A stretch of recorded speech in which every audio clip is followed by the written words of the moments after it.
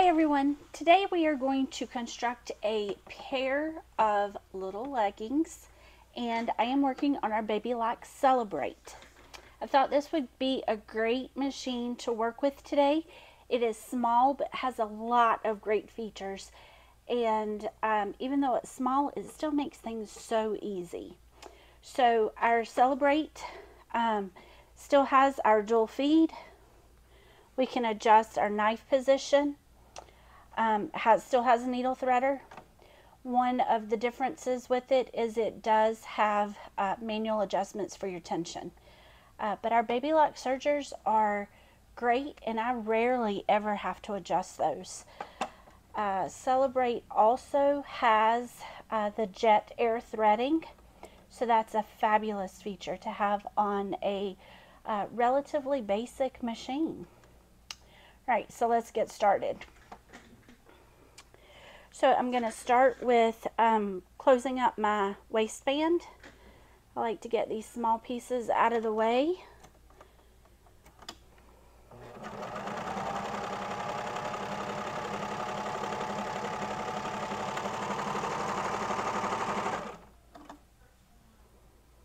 Okay, we're going to set that aside for a little bit. And now I am going to uh, construct my legs to my leggings. So here with our piece, um, hopefully you can see smaller stuff. It's not quite as obvious as if I was working on an adult size pair, uh, but our front is not does not come down quite as deep as our uh, back. Uh, I'm going to sew uh, right up the leg seam on both of these pieces.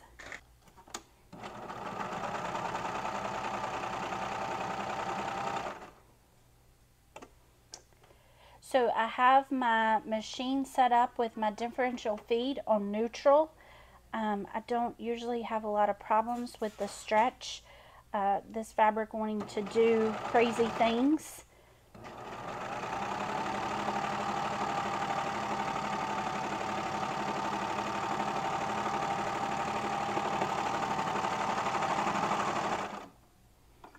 Okay, so there's one.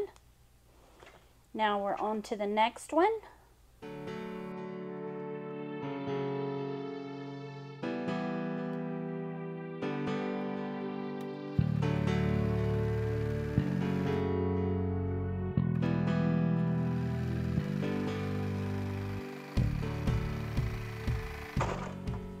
Okay, now I'm going to turn, I've got my two legs. I'm going to turn one leg right side out and I'm going to insert it into my other leg matching my inseam pieces up. So one's going to go right inside the other.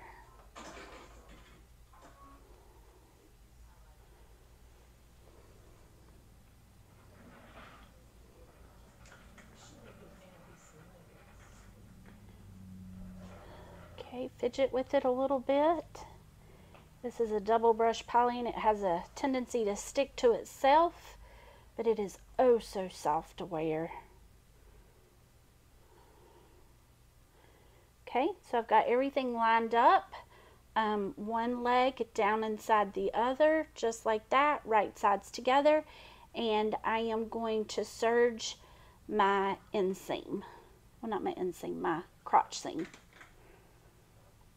Inseam is my leg.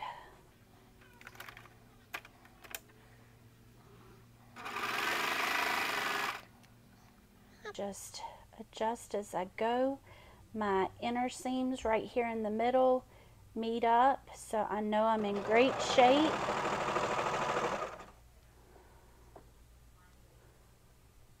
Just keep adjusting.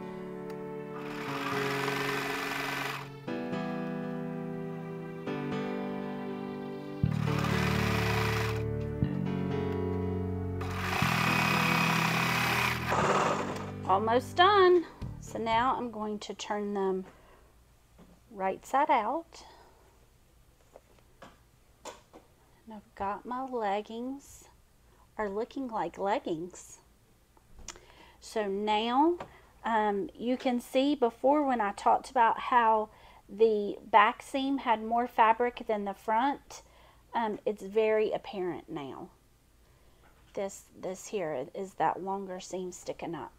So where I put my waistband together, I'm going to come back, fold it in half, matching that center seam up.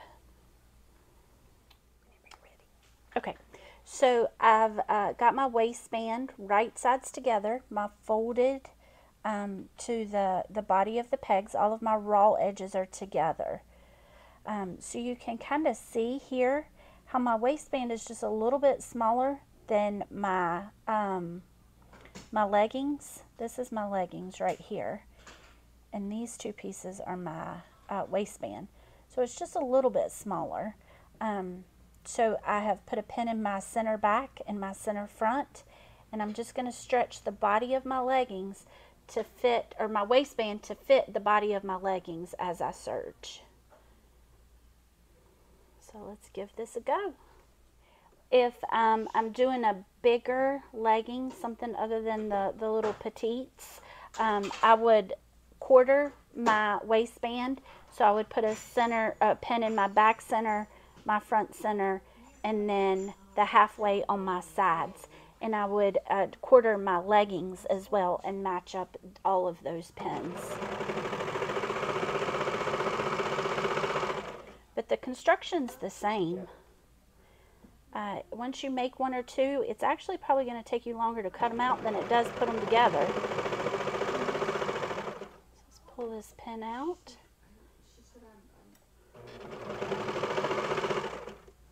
I don't want to sew over that.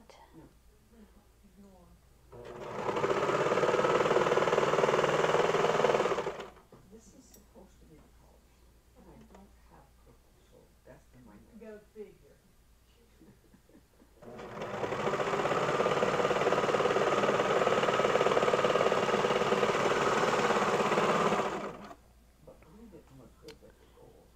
And there we go. Little leggings. I'm going to put a hem in this and she'll be ready to wear.